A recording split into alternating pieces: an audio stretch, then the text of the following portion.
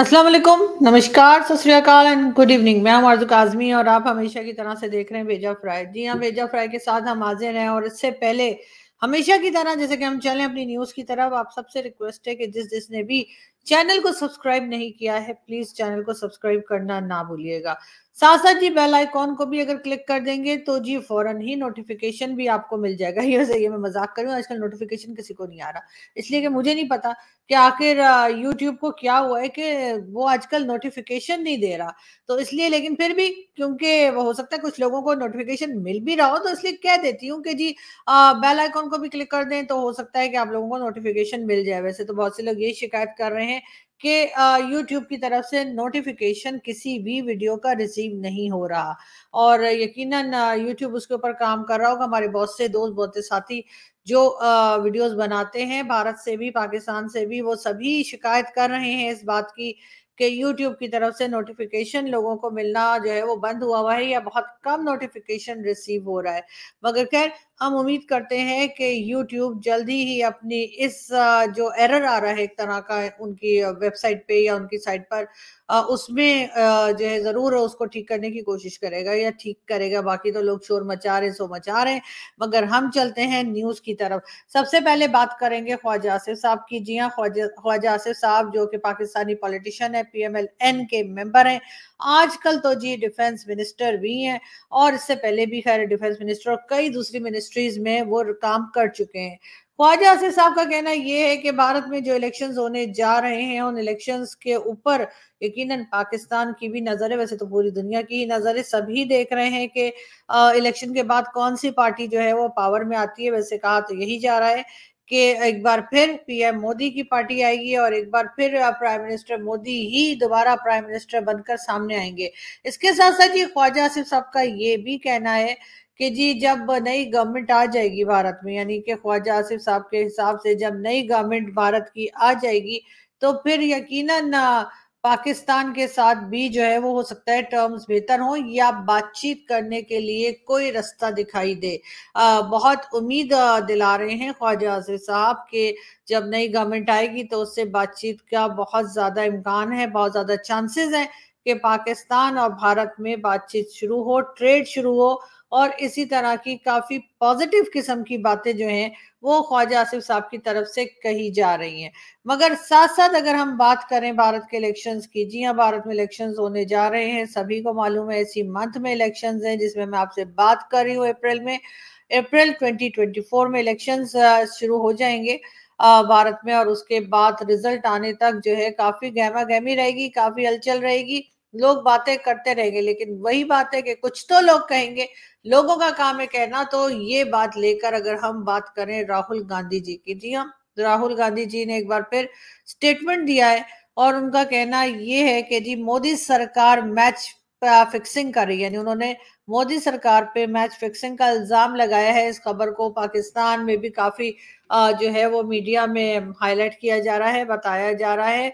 चाहे print media हो, चाहे इलेक्ट्रॉनिक मीडिया हो, चाहे आप समझ लीजिए डिजिटल मीडिया हो। वहाँ पर इस बात को डिस्कस किया जा रहा है और कहा यह गया कि जी राहुल गांधी ने ये कहा है कि चंद यानी कि कुछ थोड़े बहुत बिलीनियर्स को लेकर जो है वो मोदी सरकार यानी कि पीएम मोदी की जो पार्टी है, वो मैच फिक्सिंग करने की कोशिश कर रही है कि यानी कि लोगों को खरीदा जाए, जो हमारे यहाँ पाकिस्तान में तो खैर बहुत आम सी बात है कि जो कैंडिडेट्स हैं उनको खरीदा जाए और अपनी पार्टी में शामिल किया जाए और इस तरह से एक बार फिर जो है आ, वो प्राइम मिनिस्टर मोदी या पीएम मोदी जो पहले मतलब प्राइम मिनिस्टर रह चुके हैं मोदी जी जो हैं उनकी ही दोबारा सरकार बनाई जा सके।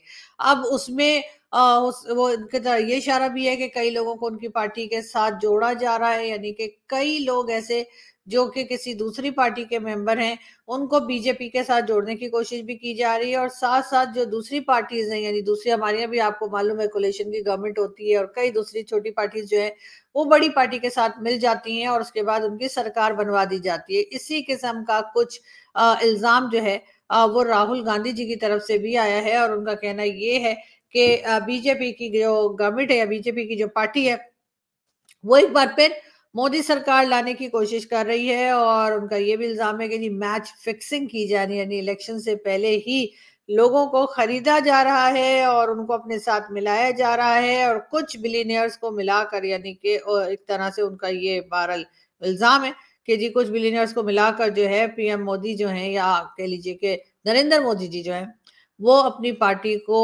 स्ट्रॉन्ग कर रहे हैं और अपनी गवर्नमेंट को दोबारा लाने की कोशिश कर रहे हैं। लेकिन खैर अजीब सी बात है इसलिए कि ऐसा लगता नहीं है।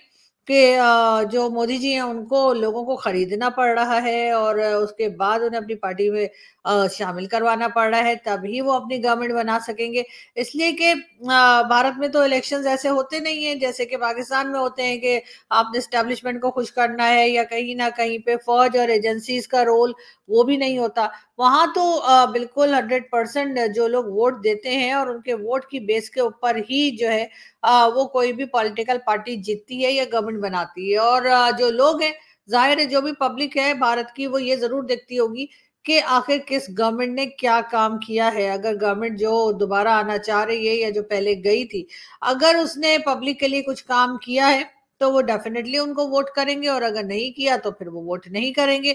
वोट काउंट होंगे और उसके बाद बिल्कुल एक जो तरीका है इलेक्शंस का कि ईमानदारी के साथ उन वोट्स को काउंट करके और बता दिया जाता है कि जी कौन जीता और कौन आ रहा तो भारत में भी यही होगा। अब अगर पीएम मोदी को हम यहाँ से पाकिस्तान से बैठकर हम देखें तो उन्होंने तो काफ़ी काम किया है भारत के लिए। सबसे बड़ी बात जो कि मुझे हमेशा ही बहुत ज़्यादा अच्छी लगी, वो ये कि इंडिपेंडेंट फॉरेन पॉलिसी उन्होंने बनाई है और उसको बनाने के लिए ज़ाहिर है उसके लिए पैसा चाहिए होता है। और पैसा तो ऐसे ही कि जैसे भारत की इकोनॉमी जो है, उसके ऊपर बहुत ज़्यादा काम किया गया और आप सभी जानते हैं कि भारत की इकोनॉमी इस वक्त कहाँ है। ये भी कहा जा रहा है कि बहुत जल्द वर्ल्ड के थर्ड नंबर पे जो है वो आ जाएगी भारत की इकोनॉमी तो ज़ाहिर है कि ये सारी चीज़ें देखकर, इसके साथ साथ चंद्रयान और एक करप्शन के ऊपर भी उन्होंने काफ़ी काम किया था। पीएम मोदी की जो गवर्नमेंट थी उसने के जो नोट थे, आपको याद होगा कि काफ़ी सारे ऐसे नोट थे जिनको बंद कर दिया गया था और उसके बाद कहा गया था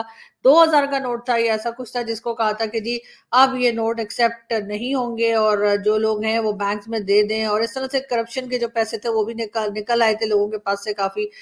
करप्शन के ऊपर उन्होंने कंट्रोल करने की कोशिश की थी। उसके साथ साथ जैसा कि हम जानते ही हैं कि चाहे वो जी ट्वेंटी हो एससीओ की मीटिंग्स हो या कुछ भी इस किस्म का जो काम चल रहा था कई दूसरी कंट्रीज़ के साथ मिलकर आ, उसके ऊपर भी बहुत अच्छे से पीएम मोदी ने जो है वो काम किया वर्कआउट किया और उसके बाद जो है आ, हमने ये देखा कि ना सिर्फ़ गल्फ कंट्रीज़ बल्कि यूरोपियन कंट्रीज़ अमेरिका हर जगह पर ही जो है जो इंडियंस रहते हैं, उनके लिए कहीं ना कहीं कुछ ना कुछ काम जो है वो किया गया, जिससे कि ज़ाहिर है कि उनका काफ़ी नाम हुआ और हर तरफ़ जो है वो मोदी जी की जो गवर्नमेंट है, उसकी तारीफ़ भी हुई। सिर्फ़ यूरोप, अमेरिका और गल्फ कंट्रीज़ में ही नहीं, बल्कि उस वक्त इमरान खान साहब जब जेल नहीं गए थे तो इमरान खान साहब ने भी बहुत तारीफ़ की थी और उनका यही कहना था कि पीएम मोदी जो है, उनके ऊपर करप्शन के कोई चार्जेस नहीं है और ना ही उनकी कहीं बाहर प्रॉपर्टी है और ना ही इस तरह की कोई बात है तो ये सब कुछ भी कहा गया। लेकिन अब बहरल अपोजिशन बहरल अपोजिशन होती है और उसको कभी भी कमज़ोर नहीं समझना चाहिए।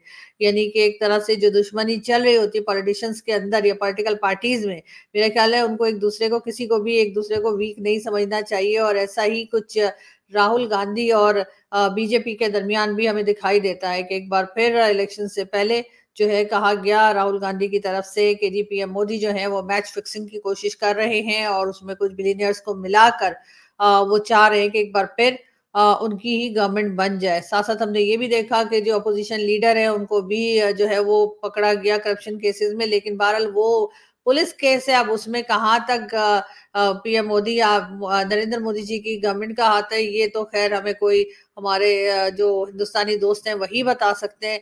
मगर साथ साथ हमने ये भी देखा कि कांग्रेस पार्टी के कई जो अकाउंट्स थे यानी कि उनके जो बैंक अकाउंट्स थे, उन्हें भी फ्रीज किया गया।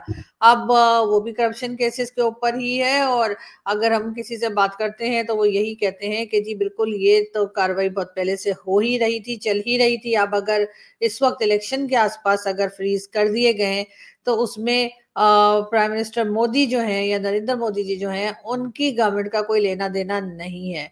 अब ये बात जो है ज़ाहिर है कि हमें हमारे हिंदुस्तानी दोस्त ही बता रहे हैं और हम उन्हीं की बात अब तक पहुँचा रहे हैं।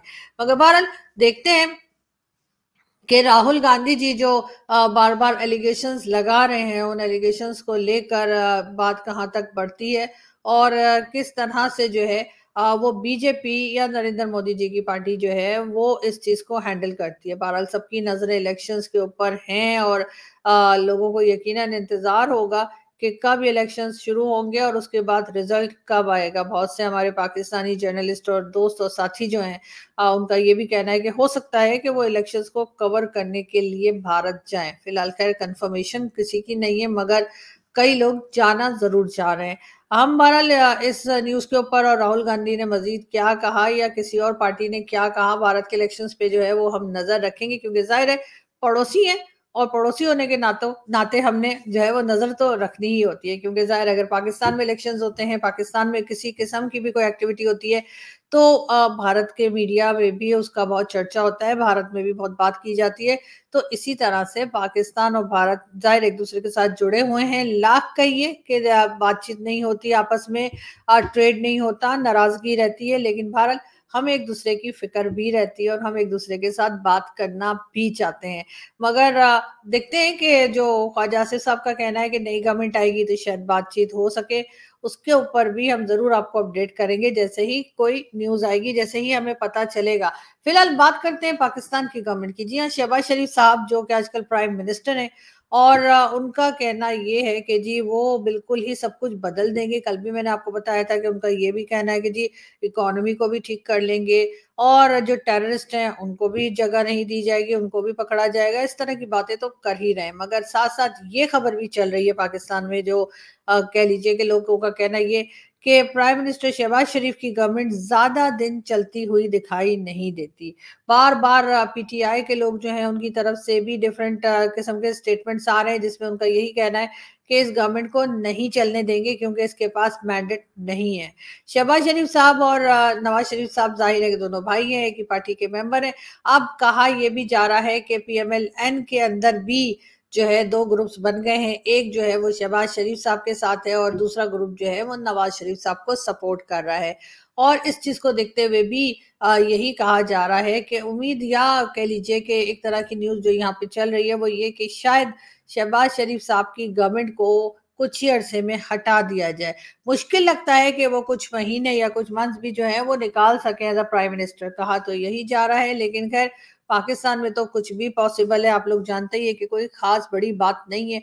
अगर ये कहा जाए कि पाकिस्तान में इसी साल दोबारा इलेक्शंस होने के भी इम्कान दिखाई जा, दिखाई दिए जा रहे हैं। कहा जा रहा है कि शायद बहुत ज़्यादा एलिगेशन लगे इस गवर्नमेंट पे जिस वक्त मौजूद है और ये ज़्यादा दिन टिक नहीं पाएगी। और हो सकता है कि पाकिस्तान में एक बार फिर इलेक्शंस की तरफ़ चला जाए जाए और कहा जाए कि जी, हमें दोबारा इलेक्शंस करवाने हैं। और ये गवर्नमेंट जो है, ये मंजूर नहीं की जाएगी या ये गवर्नमेंट को एक्सेप्ट नहीं किया जा रहा कई तरफ़ से, सिर्फ़ पॉलिटिकल पार्टीज़ की तरफ़ से ही नहीं, बल्कि आहिस्ता आहिस्ता करके कुछ भाई लोग की तरफ़ से भी जो स्टेटमेंट आ रही है, उसमें भी यही लग रहा है कि शहबाज शरीफ साहब से कोई खास खुश नहीं है। और ज़ाहिर है कि बार बार ये एलिगेशन भी मुसलसल लग रहा है कि मैंडेट जो था, वो इमरान खान को मिला था या इमरान खान की पार्टी को मिला था। तो कहीं ना कहीं ये बात भी चल रही है कि इमरान खान को कई कई तरह का रिलीफ दिया जा रहा है। इमरान खान के कई केसेस जो है, उसमें उनको माफ़ भी कर दिया गया या समझे उनके केसेस जो है, उसमें वो रिहा भी हो करने की बात की जा रही है और ये भी कहा जा रहा है कि वो केसेस जो है, वो खत्म करते जा रहे हैं। बिल्कुल वैसे ही, जैसे कि हमने नवाज़ शरीफ साहब को देखा कि जिस तरह उनके केसेस खत्म किए गए, वैसे ही इमरान खान के केसेस भी खत्म किए जा रहे हैं। मगर इमरान खान के आने के चांसेस बहुत कम दिखाई दे रहे हैं। हाँ मगर पीटीआई पाकिस्तान तरीके इंसाफ। आ, उसका फ्यूचर काफ़ी ऐसा लग रहा है कि ब्राइट होता जा रहा है। आहिस्ता आहिस्ता शायद इमरान खान की जगह किसी और को लाया जाए। मगर फ़िलहाल शहबाज शरीफ साहब के लिए काफ़ी मुश्किल सिचुएशन है क्योंकि उनकी गवर्नमेंट आज गई कि कल गई इस किस्म की बातें चल रही हैं। मगर वो साथ साथ अपना फुल कॉन्फिडेंस भी दिखाने की कोशिश कर रहे हैं कि कोई ऐसी बात नहीं है और गवर्नमेंट जो है अपना टाइम पूरा करेगी। उससे पहले नहीं जाएगी। बहरहाल, अगर कोई मज़े में है तो इस वक्त पीपल्स पार्टी है, क्योंकि पीपल्स पार्टी को फ़िलहाल किसी तरफ़ से कोई खतरा नहीं है। अगर कोई खतरा है तो उस वक्त इस वक्त सिर्फ़ और सिर्फ़ शहबाज शरीफ साहब को है, जिनको के किसी वक्त भी जो है, प्राइम मिनिस्टरशिप से हटाया जा सकता है। बात करेंगे व्हाट्सएप की। जी हाँ आज जो है, वो व्हाट्सएप बंद रहा, बल्कि आज नहीं, कल कहना चाहिए। हाँ जी, कल जो है, वो कुछ घंटों के लिए व्हाट्सएप बंद हो गया, या व्हाट्सएप ने जो है, वो काम नहीं किया और उसमें ये कहा जा रहा है कि सिर्फ़ पाकिस्तान की बात नहीं थी बल्कि कई दूसरी कंट्रीज़ में भी जिसमें भारत भी शामिल है वहाँ पर भी व्हाट्सएप की सर्विसेज़ जो थी वो सस्पेंड हो गई और लोग जो हैं वो यही सोचते रह गए कि आखिर ये हुआ क्या है। थोड़ी बहुत घबराहट थी लोगों को लेकिन ये कि कुछ ही घंटों में जो है दोबारा से ये व्हाट्सएप की सर्विसेज़ जो थी वो ठीक हो गई और उसके बाद लोग जो है आपस में फिर एक दूसरे से बात करने लगे मगर उस, उससे पहले कुछ देर के लिए सोशल मीडिया पे ज़रूर एक हंगामा था कि आखिर ये व्हाट्सएप चल क्यों नहीं रहा? आजकल हर तरफ़ यही है, कभी हमारे यहाँ एक्स नहीं चलता या ट्विटर समझ लीजिए वो नहीं चलता तो कभी व्हाट्सएप जो है वो काम करना बंद कर देता है। खैर इस किस्म की चीज़ें तो होती रहती हैं, आपको पता ही है कि बड़े बड़े देशों में ऐसी छोटी छोटी बातें होती रहती हैं। मगर खैर, हमारे यहाँ तो ये एक आम सी बात हो गई है बार बार जो है वो ट्विटर और एक्स के ऊपर भी टीवी शोज़ हो रहे हैं यूट्यूब शोज़ हो रहे हैं, लोग बात कर रहे हैं, लोग डिबेट कर रहे हैं। और लोगों का कहना ये कि आखिर ये बंदिश क्यों है? पाकिस्तान में आ, सोशल मीडिया के ऊपर जो है इस किस्म की बात क्यों की गई है कि उसको बैन किया गया है या उसको ब्लॉक किया गया है? और वीपीएन के बगैर जी ट्विटर या एक्स जो है वो ओपन नहीं होता पाकिस्तान में लेकिन खैर हमारे लोग भी जो है आप जानते हैं कि पाकिस्तानी हैं और हम कहीं ना कहीं से कोई जुगाड़ लगाकर जो है वो ट्विटर को यूज़ कर लेते हैं या एक्स को यूज़ कर लेते हैं तो पता नहीं इसका नाम एक्स क्यों रख दिया आई डोंट नो मुझे तो ट्विटर ही अच्छा लगता है। मगर खैर मुझसे पूछ के थोड़ी किया कि मैं कुछ कहूँ। मगर ये ज़रूर है कि जी आ, उसको बार बार जो है लोग इस्तेमाल करते हैं लोग ट्वीट्स भी लगाते हैं सब काम कर रहे हैं लेकिन ज़ाहिर है कि वो काम करने के लिए लोगों को जो इस्तेमाल करना पड़ा है वो है वीपीएन और इसी वजह से लोग थोड़े परेशान भी हैं थोड़े तंग भी हैं लेकिन पाकिस्तान की अथॉरिटीज को जिन्होंने ये बैन लगाया है जिनको हर वक्त ये डर और खौफ रहता है कि लोग ट्विटर पे उनको कुछ भी कहेंगे खासतौर पे पीटीआई के लोगों से बहुत डरे सहमे रहते हैं। उनको इस बारे में कुछ भी जो है वो जवाब देते हुए या इस, इसको ठीक करते हुए उनको कोई ऐसा नहीं लग रहा कि वो मूड में इसको सही करने के या ये जो ब्लॉक किया हुआ है उन्होंने उसको उस ब्लॉक को हटाने के लिए या उस कहिए कि ट्विटर को लोग आराम से इस्तेमाल कर सकें उस तरफ़ जाते हुए हमें कोई दिखाई नहीं दे रहा। टीवी शोज़ में भी जो गवर्नमेंट के लोग आ रहे हैं या कोई मिनिस्टर्स वगैरह आते हैं, उनका कहना यही है जी हमने तो नहीं किया। ये तो केयर टेकर गवर्नमेंट ने किया था। तो जी केयर टेकर गवर्नमेंट तो जा चुकी। अब आ गए हैं आप तो। अब आपका ही फ़र्ज़ है, आपकी ही रिस्पॉन्सिबिलिटी है कि आप लोगों को उनका राइट दें। जी हाँ ये बिल्कुल एक किसी भी सिटीजन का राइट होता है। कि वो सोशल मीडिया को इस्तेमाल कर सके सोशल मीडिया पे न्यूज़ पढ़ सके न्यूज़ लगा सके वट एवर जो भी करना चाहे। लेकिन अगर आप इस तरह से रोकेंगे टोकेंगे और ब्लॉक कर देंगे वेबसाइट्स को तो यकीनन बात जो है वो आपके खिलाफ ही जाएगी और आ, सिर्फ़ सोशल मीडिया की बात नहीं है या सिर्फ़ इंटरनेट की बात नहीं है। अगर रोड पर भी चलते फिरते लोग आपको बुरा भला कहेंगे आप उनको कैसे रोक पाएँगे?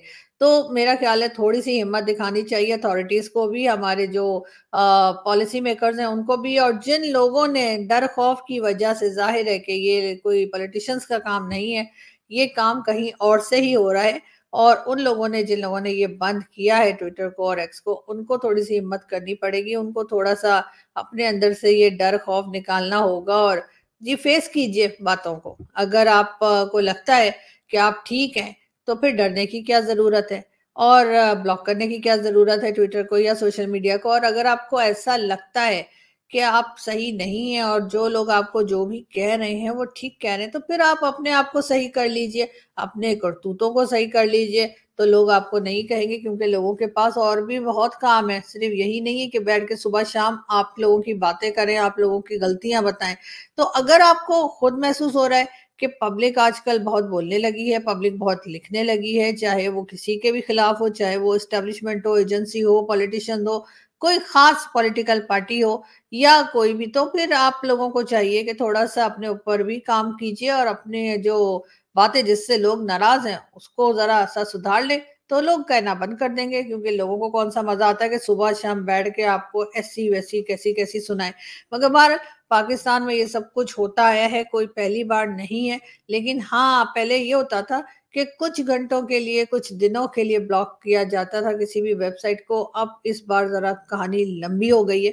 और इसलिए लोग जो है वो काफ़ी परेशान भी हैं और तंग भी हैं, क्योंकि ज़ाहिर है वीपीएन के ज़रिए बार बार जब उस वेबसाइट को खोला जाता है बार बार वेबसाइट को ओपन करने के लिए सिर्फ़ और सिर्फ़ वीपीएन यूज़ किया जाता है तो लोगों से कई न्यूज़ जो है वो भी मिस हो जाती हैं, कई लोग जो है ज़ाहिर है वहाँ पर जो है लोगों के साथ कम्युनिकेट भी करते हैं, वो कई चीज़ों में तंग हो रहे हैं। लेकिन खैर, हमारी अथॉरिटीज़ को या उन लोगों को जो इसमें, जिनका इसमें जो इन्वॉल्वमेंट इस सारे कार्रवाई में, उन्हें कोई फ़र्क रहा नहीं है। मगर हम उम्मीद करते हैं कि कहीं ना कहीं थोड़ी सी शर्म इनको आएगी और ये इस चीज़ को जो है सोशल मीडिया को जो है वो इस तरह से ब्लॉक नहीं करेंगे और पाकिस्तान को चाइना बनाने की कोशिश ना करें क्योंकि पाकिस्तान भारत चाइना नहीं बन सकता। जो मर्ज़ी कर लीजिए। यहाँ पर ऐसे लोग नहीं रहते कि आप यहाँ पे पाकिस्तान को चाइना बनाएँगे और लोग बैठे देखते रहेंगे। मुझे नहीं लगता कि ऐसा पॉसिबल है। बहरहाल यहाँ से हम चलते हैं। आपसे मुलाकात होगी नेक्स्ट वीडियो में। अपना बहुत सारा ख्याल रखिएगा। हँसते रहिए, मुस्कुराते रहिए। हमारे चैनल को सब्सक्राइब करना ना भूलें। Thank you